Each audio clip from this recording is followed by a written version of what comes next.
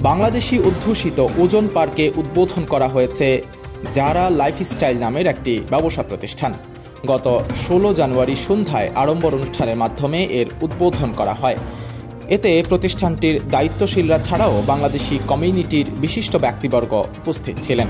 উদ্বোধনের আগে প্রতিষ্ঠানটির সাফল্য কামনা করে বিশেষ দোয়া ও মোনাজাত পরিচালনা করেছেন আলহাজ শামসুল ইসলাম।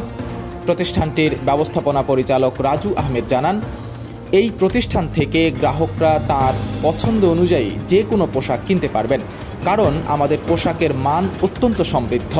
উদ্বোধনী অনুষ্ঠানে উপস্থিত ছিলেন জালালাবাদ অ্যাসোসিয়েশনের সাবেক সভাপতি বদরুল ইসলাম খান, বিয়ানীবাজার সমিতির বিভিন্ন স্তরের নেতা সহ আরও অনেকে।